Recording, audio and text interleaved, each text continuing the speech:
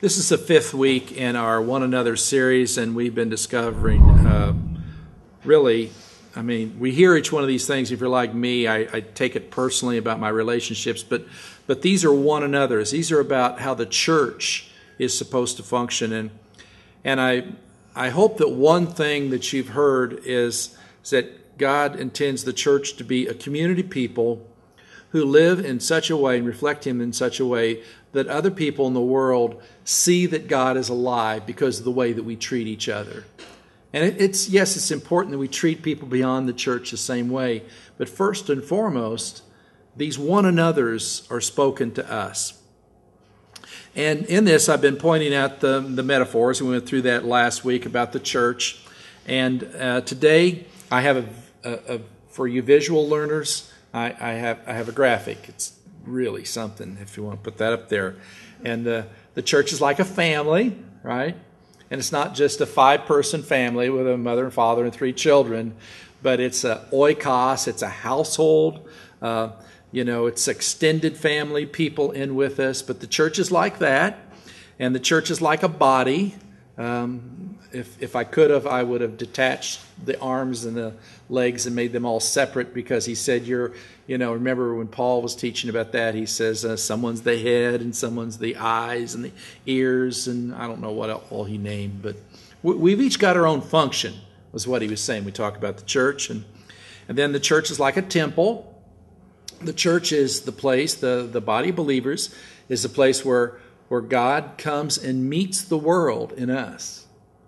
And that's what the temple really was in the Hebrew terms was that they went to the temple because God's manifested himself in the temple. In the same way the church is to be that place where God manifests himself. And we don't perhaps think of the church of that way. But but that's one of the metaphors. And then last week we had where we're like building stones, where we're all fitted together. We're like a building. And each one of these speaks of unity and today we come to our fifth one another, and it is forgive one another. And there, there are a lot of passages on this. Uh, Paul uh, speaks to the Ephesians on this, and, and I've chosen the Colossian passage from Colossians 3 12 to 13. He says, Put on then as God's chosen ones, holy and beloved, compassionate hearts, kindness, humility, meekness, and patience bearing with one another, and, if one has a complaint against another, forgiving each other, as the Lord has forgiven you, so you also must forgive. So God calls us to forgive one another, and obviously that doesn't mean that we're never going to get offended. It, I think it's implied that we will get offended. There are going to be things that happen. We're, we're often going to be offended by someone else, and that doesn't mean that we'll we're never going to have someone say something in church that, that doesn't hurt us or embarrass us. I mean, it's implied that that is going to happen in the body. That's the need for forgiveness. We're going to get rejected, and we're going to feel like sometimes people don't like us, people don't appreciate us. And it doesn't mean that we're never going to get mad because we're going to get mad sometimes. That's what happens. We're people. Instead, what he says is forgive one another just like Christ has forgiven you. Now, Paul's point to the churches was that to the degree that they loved one another and forgave one another, just like Jesus, to that degree, people in the world would see that Jesus was alive. They'd say, look at, look at the community. He's obviously alive because they're different than everyone else. Look, look, they, they resemble him. It's the way they treat each other. Now, think about this today. Um, the, the demographics of the Western church, you know, what's left of the European church and, and the American church today, has become so homogenous, so, you know, same.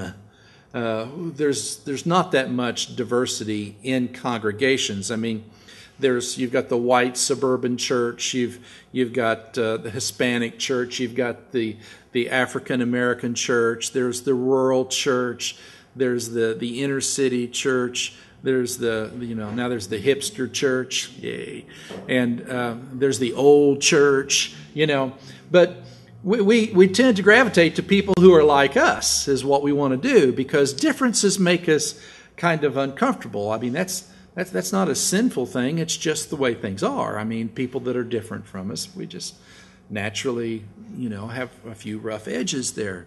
So the, the early church was much different than that. The early church had a great deal of diversity. I mean, there's I've gone through this before. There's Jews and there's Gentiles. And that that was probably as large of a cultural difference, the Jews and the Gentiles being in the same congregation, as it would be if we had kind of a, a white Protestant group mixed with some recent people from Pakistan who were Muslims and just became Christians. You can imagine the kind of cultural clashes and misunderstandings that we would have across those cultures. And the Jews and the Gentiles were about the same kind of things. So my, my point here is that there's an extreme likelihood of, of hurt because of the diversity that they had, and yet somehow they managed to make it work because they loved one another, they accepted one another, so forth and so forth. Do you know that the average church size in America is 70 people? Um, that's probably not an accident. Um, that's a sing, what we would call a single cell. It's uh, 70 people can function, and everybody knows each other, and uh, there's um, you know it's just one cell. They all function kind of as one family, one community when you start to grow over 100 people, you have to go to multiple cells. And when you get to that point, then what you get is you get two groups. And sometimes the two groups don't get along real well, and there's a little bit of tension between the two groups. And, you know, um, I've, I've watched that sometimes in Sunday school classes. It's been uh, through the years, I've watched like a, there, maybe you'd have two or three Sunday school classes and adult Sunday school classes and one of the adult Sunday school classes were for the scholars. You know, they're going to study the Bible. Then the other Sunday school class didn't really like them because you know they study the Bible. We love each other is the other Sunday school class, and that that names some themselves something like one's Bible study and the other the other was you know um, I, I, don't know Middle Ages on mission or something. But they'd always find find themselves some kind of name that showed what they were about, and they didn't really like each other. You know, there's always some, some tension going on there in a, in a multi cell church. That's always going on. You got a group of people that are are together, and it's kind of difficult to get close in that. So I was also thinking about what the American church gets upset about. You know, the kind of things that we fight about in in church in America, and uh, we we make comments like, you know, well, I don't like those people the way they come to worship. I don't think anybody should wear a T-shirt. Or, or who does he think he is? He wears a tie every week, or does she think it's some kind of fashion show the way she comes to worship every? Those are the kind of things that we talk about in the American church that divides us. You know, uh, why don't we use the hymnals that they bought with with grandma's uh, memorial money. You know, it's uh, I, I, don't like the screen. Uh, you know, the songs too fast and all that. Really, pretty petty stuff. Kind of, uh, you know, really first world problem. You stop and think about it, because if this is correct, and I think it is, who's saying it, we are living in the midst of the greatest persecution of the Christian church in Christian history right now. I mean, Christians are under severe persecution in many parts of the world. And yet, we're upset about because he won't wear a tie, or I don't like that hymn. Really, first world kind of problems. But those are the kind of things that American Christians kind of rub up against each other on. But it's, of course, it's real to us because these are, are our differences. And the result of differences and words that are said then sometimes turns into thems and theys. And, and I always listen for that language when someone says, well, they. I go, well, who's in they? Do you know exactly who's in the they group? You know, because they seem to have some idea of this faction of people over here that they're in opposition to. Don't you hate it when stuff like that goes on? And you wonder why, you know, young people don't want to come to church. Well, they don't want to fight with people. Some, some of our churches fight a lot, you know. And uh, I'm not that we're immune from that, but, but certainly we have some censors that are out there to say, we don't want to do that. We want to stop that. But a lot of times you can get the theys and the thems going on as the factions of people. And we begin to think that since someone doesn't like what I like, that they don't like me. You know how quickly we make that jump. That they don't like the same things that I like. They don't like the same political party, so they must not like me. And the closer that we get together in a community, um, the, the easier that that begins to happen. And it really sounds so silly until someone says something about me or someone hurts me. And then, then it gets real personal, you know, and, and we just, you know, go there in a hurry. It gets real.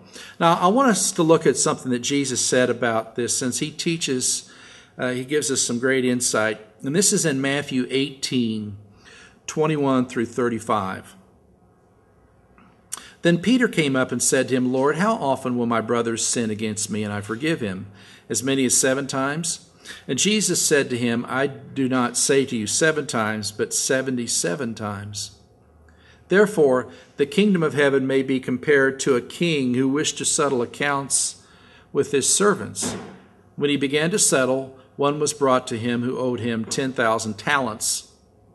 And since he could not pay, his master ordered him to be sold with his wife and children and all that he had, and payment to be made. So the servant fell on his knees, imploring him, Have patience with me, and I will pay you everything. And out of pity for him, the master of that servant released him and forgave him his debt. But when that same servant went out, he found one of his fellow servants who owed him a hundred denarii, and seizing him, he began to choke him, saying, Pay what you owe. So his fellow servant fell down and pleaded with him, Have patience with me, and I will pay you. He refused and went and put him in prison until he should pay the debt. But when his fellow servants saw what had taken place, they were greatly distressed. And they went and reported to their master all that had taken place. Then his master summoned him and said to him, You wicked servant, I forgave you and all that debt because you pleaded with me. And should not you have had mercy on your fellow servant as I had mercy on you? And in anger his master delivered him to the jailers until he should pay all his debt. So also my heavenly Father will do to every one of you if you do not forgive your brother from your heart. Wow. Well, kind of like a lot of the other um, parables that Jesus tells and realize this is a parable. It's not a story, it's a parable. There's an element of being ridiculous in here. Every one of his parables are kind of over the top to make the point. And, you know, Peter is probably thinking that he's being really a merciful guy to offer to forgive somebody seven times because the rabbis at the day taught, you know, three strikes you're out was what they taught. If, if somebody sins against you three times, that's it. You're done with them, you know. And uh, so he probably thought, you know, seven times is pretty good. And some of your translations won't say 77 there. There's, there's sometimes kind of a funny thing with numbers in the Bible.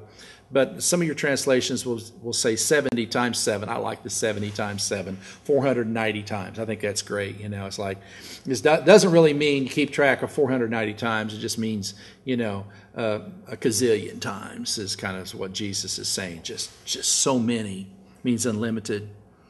And, the first uh, servant owed 10,000 talents, and a talent was roughly 70 to 80 pounds of gold. And that's, you know, estimated to be at least $100 million is what he owed. Okay? So Jesus also is saying a man owed, you know, a gazillion dollars. He, he could not pay this back. And I think we get the point and what the point is here is that Jesus is saying, that's kind of like your sin. it is so much that you can never pay this back. Well, we have a debt sin against God that is so huge. But the man's forgiven. But he'll not forgive this other man who just owes him just this little, you know, pocket change. And the difference in the debts, I think, make the point. One is, you know, more money than you could ever imagine, and the other is just kind of what I got in my pocket. And so there's the point, I think, that we've received God's grace. And that has no measure, no end, no limits. And if we've received His grace and we demand justice of someone else, means we haven't really received His grace. We, we just don't get it. Now, forgiveness is, first of all, uh, an act of grace. As, as God has given us grace, His unmerited favor, so we are told to do the same for others in the church and beyond. And it has, has nothing to do with what we deserve or, or what they deserve. Forgiveness, first of all, is, is giving a gift to someone else. When you forgive someone, you're giving them the gift. And, you know, what, what we receive is, is God's grace, and God chooses to forgive us, and we don't deserve that forgiveness. Then He says, Now, since I've forgiven you, then you give some away too. As you've received, so then you give. And as, as Jesus lives in us and he, he comes out in our lives and he forgives others through us as we are willing to give and we receive forgiveness from him and it's this endless cycle of god forgiving us and us extending that forgiveness to other people. We just let it go. I hope that we understand that that god is not measuring you god is not closely examining you to see where you've messed up today he's not keeping a score. God wants to forgive, wants to extend to you His grace. Not because you deserve it, because nobody deserves it. Paul said to the Romans in, in Romans 5 8, a, a verse that we love to quote because it's so important, important. While we were yet sinners, Christ died for us. See, not after we'd cleaned up our lives, but while we were still sinners and we didn't deserve it, was when he, he died for us. And it's the one way that we can really tell if we are living in Jesus. Do I naturally forgive other people, or do I have a need to get even? Do I have this need for justice? If I have a need to get even with others, then I'm not living in His grace. And this might help clarify what God means. Forgive does not mean that we forget um, forgive does not mean that we reconcile with the other person. That means the other person has to do something. We can't make them do that. Forgive means that we release the other person. The, the word uh, forgive here, the word group in, in the Greek, means just that to release, to let go. And it has the implication that there was a debt, and the debt is being let go it's being released. And it doesn't mean that the two parties now are just like they were before that bad thing happened. That's reconciliation. That's that's more than forgiveness here. But forgive is an act of grace, and it means that we just release them from that debt that they owe to us. The Lord's Prayer, remember, says, Forgive us our debts as we have forgiven our debtors. So when someone hurts us, uh, there's this debt relationship. We say, well, she owes me. He did something bad to me. He owes me. Okay? He hurt me. And I, I didn't start this. And, and they took something from me. And now they owe me. And to forgive, we cancel the debt and we say, he no longer owes me anymore. Because I choose to let it go. I choose to release it. They deserve justice. They, they deserve to get for me to get even with them, but I choose not to. In the same way that God has chosen not to get even with me, as God has given me His grace, then I choose to give grace there. And when we release them, we release ourselves because we no longer have to manage the debt. Years ago, I, I loaned a fairly large sum of money to somebody. Have you ever loaned Probably have. Loaned money to somebody, and they never paid you back. We, have all done that, you know. One time we loaned uh, you know, a substantial amount of money uh, to somebody, and uh, he really needed it, and uh, I didn't feel bad doing it. He asked for it, and I jumped on it quickly and said, "Yeah, we want to do this. We want to help you." And and he didn't pay, and he didn't pay, and he didn't pay, and you know, it kind of wore on, and you know, he was supposed to pay me so much a week, and that didn't come in, and and so he began to avoid me. You know, he'd, he'd see me, and then he'd, you know, oh, I got to go do something else, and uh, we we'd been not close friends, but you know, we'd been chummy. It really began to bug me, and every time I saw him, all I thought about was the money, and I thought about well, he's got money for cigarettes, but he didn't have money to pay me, right? He's got money for cable TV, he didn't have money to pay me, you know. So um, I, I learned something in that, and the first thing that I learned was I, I, learned to never loan a friend money that I was not willing to give to the friend. If you're going to loan it to him, you got to be willing to give it to him. And, and the second thing was I told him, I said, you know, I just want you to have this money. I, have changed my mind. I, I, don't want you to pay me back. I just want to give it to you, man. I just, just want to bless you with it. There. And we went on with life.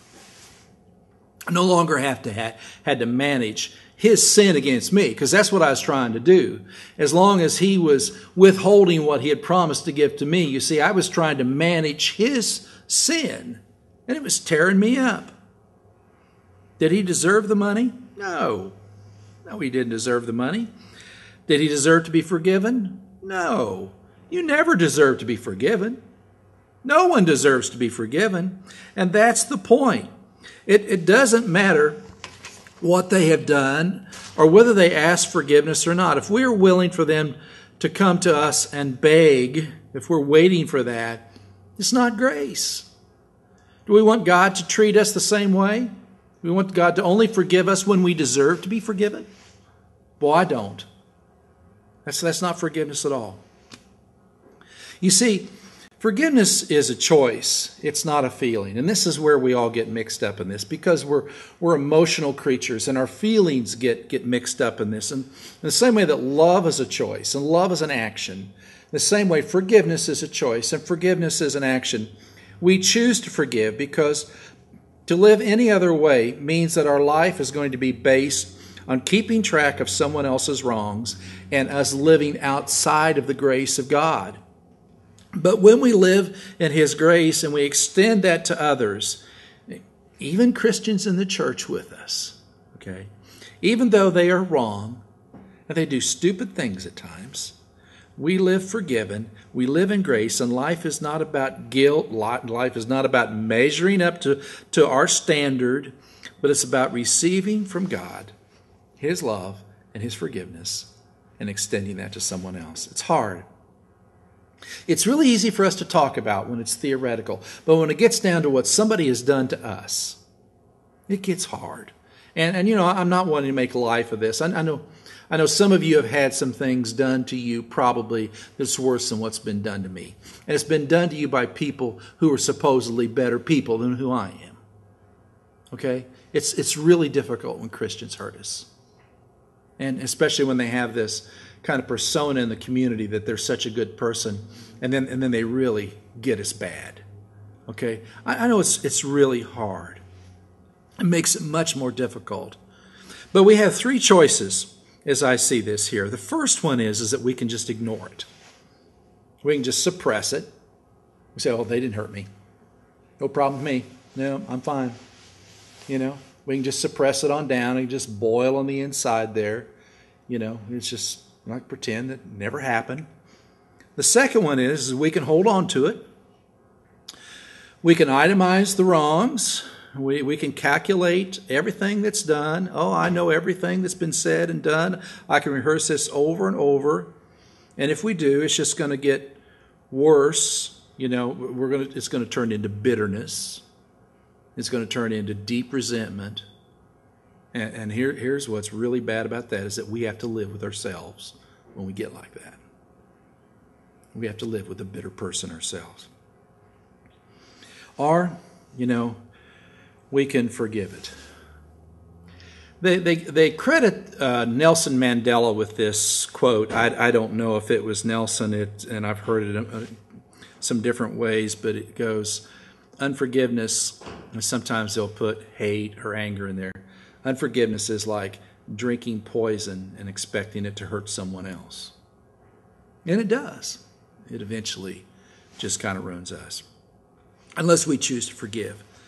Seldom do we feel like it. If we're waiting to feel forgiveness, it's probably not going to come. In fact, there'll be there's I think there's a wrongness to the way this feels. It's not natural. They don't deserve it. Somehow we're going against the justice system of the universe. And we think that, you know, what for me to let them off isn't isn't right. They won't learn anything. It's it's never going to feel right. You know, that's that's my personal take on it. It's not normal, but it's just like Christ. Because that's what he does, isn't it? It's just like him. Colossians uh, 2 13 and 14, wonderful passage of Scripture. We, we need to go there ever so often. Jesus or excuse me, Paul says to the Colossians, and you who were dead in your trespasses and the uncircumcision of your flesh, God made alive together with him, having forgiven us all of our trespasses by canceling the record of debt. Do you hear that? The record of debt that stood against us with its legal demands. This he set aside, nailing it to the cross. I, I just love that picture. I, I can just picture a, a, scroll of my sins that go all the way back to that quarter that I, that I stole out of my dad's change when I was five. You know, all of those things, all of that junk that we've done in life. And Jesus is up there on the cross and he, he pulls out his 22 ounce framing hammer and he just puts a big old nail in the cross and nails it up there on the cross. He says, It's canceled. It's over with. Do I deserve that? No, I don't deserve that. Did I earn that? No, in no way did I earn that. It's a gift. We all have a bill of debt that's been compiled. All of the lies, all the times we said, me first, take me first, okay? It's amounted, he says, to more than 10,000 talents. Truckloads full of gold is what, it's, what it is. That's how many there are. And our debt to God was more than all of that. And Christ took that debt and he nailed it to the cross.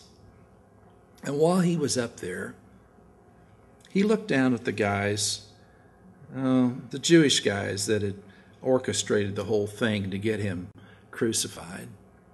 And he looked down at the Romans who had tortured him all night. And you know what he said Father, forgive them. Their debt against me, I release it, Father. I release their debt against what they've just done. They've taken my life unjustly. I forgive them. And he says to us, Well, you know, that's how we do it. That's what he says to the church. He says, That's how we're going to live. We're going to live in that way. That although bad things are done to you, sometimes by people in the church, you're just going to say, I forgive them. Because that's what Jesus does. You're going to be like me, you're going to channel me. Did you see the movie Dead Man Walking or read the book? It was years ago. It was a great movie. Um, true story of a Catholic sister named Helen Prejean. Um, she was the author of the book Dead Man Walking and talked about one of the, the heroes of her faith, uh, Lloyd LeBlanc. Um, Lloyd was the father of David LeBlanc. He was a 17 year old who was murdered by Patrick and Eddie Sonnier. And, you know, you see that story, it's just, uh, it's heart wrenching if you're a parent.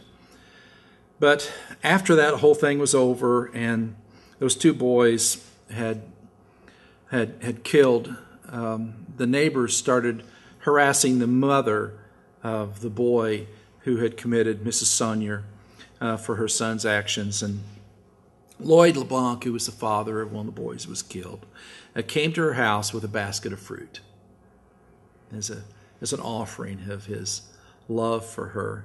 And Lloyd told Mrs. Sonnier that he was a parent too, and he understood that she wasn't responsible for the murder.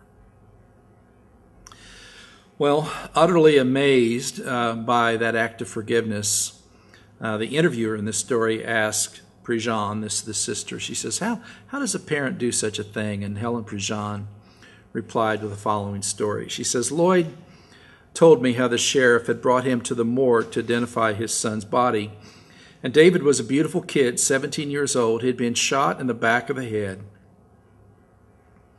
And when the sheriff pulled his body out on the cold tray, Lloyd, who was good with his hands and could fix things, looked down at his son and thought, I can't fix this. And he began to pray. He came to the line in the Our Father about forgiving those who trespassed against us. I didn't feel it, he said, but I knew that was where I had to go. And that's where he went. Lloyd, Prejean says, Lloyd embodies forgiveness, not just something we can do for others, but forgiveness that says, I'm not going to let anger and hatred kill me. I'm going to remain kind and loving. And then I love this line forgiveness is a path, not a single act. One's commitment to it has to be renewed every day. Boy, isn't that true? It's not a one time thing ever. Thankfully, probably none of us will have to walk up that hill with our son to that cross like this father did with his son. Uh, our one another forgiveness will seem much more ordinary, seem much more daily, not nearly probably as painful, but still a choice.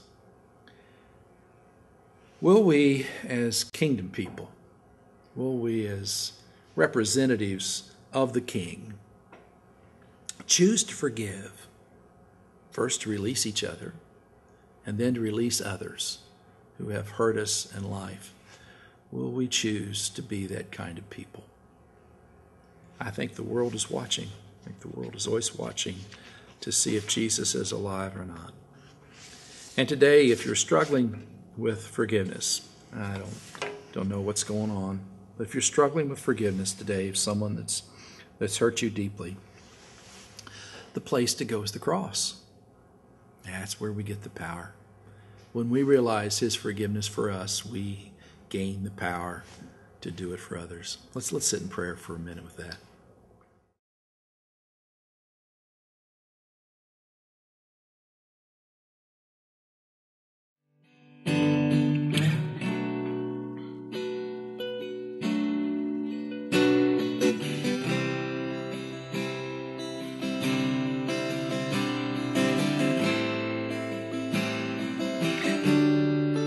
All who are thirsty, all who are weak, come to the fountain, dip your heart in the streams of life, let the pain and the sorrow